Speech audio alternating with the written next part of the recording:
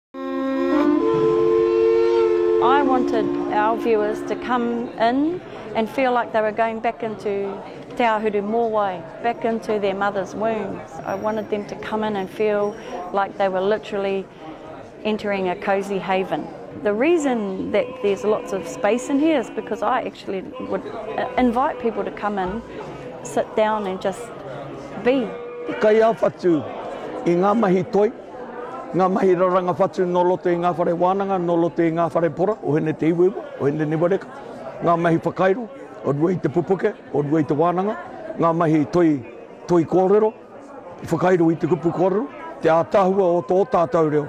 Ka raupini te kī mai ō tātou reo engari ko tō tātou reo.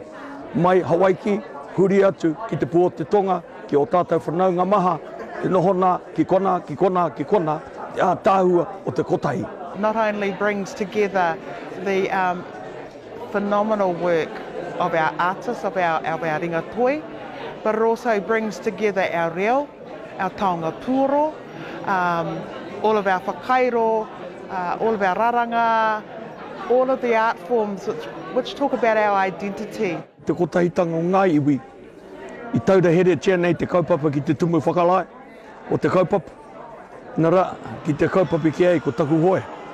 Taku hoe nei ko Lapanga Te Āti Nuku, ko Lapanga Te Āti Rangi. Kai te kite atu, mārakerake ana te kite atu, te rerenga mai o ngā wai mai te hononga o ngā rua. Na reira i pupū mai te whakaiti me te kareāroto e tangi nei. Ki ō tātou tūpuna nā rātou te kaupapa nei i whakatakoto hei mahere, hei takapau wharanui kia noho tahi ai tātou, kia kōrero tahi ai ngā kaupapa o te wā, ā, i tēnei rā, kua puāwai mai. Ahau me taku hoa Rangi Kipa, ā, o Shaan. o ngā hina. E hihi ana mātou katoa te whakaatu, he, he whakaaturanga o ngā rawa mai i ngā tohorā me ngā paraoa. Ā, i roto i te ao, ehara tēnei i te mea ā, māmā, te haere me ngā taonga whakakai, ngā, ngā patu paraoa, ngā hoeroa, ngā tewhatewha paraoa me ngā reiputa mai te niho o te paraoa, e kore taea te take ko ngā ture ahu mai i rāwāhi.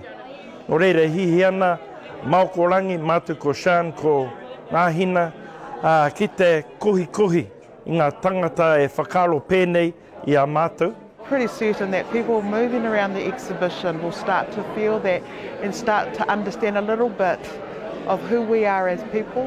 When you look closer, you see all the all the intricate details, the little drawings, the paintings, and then the necklace. When you got closer, you can see the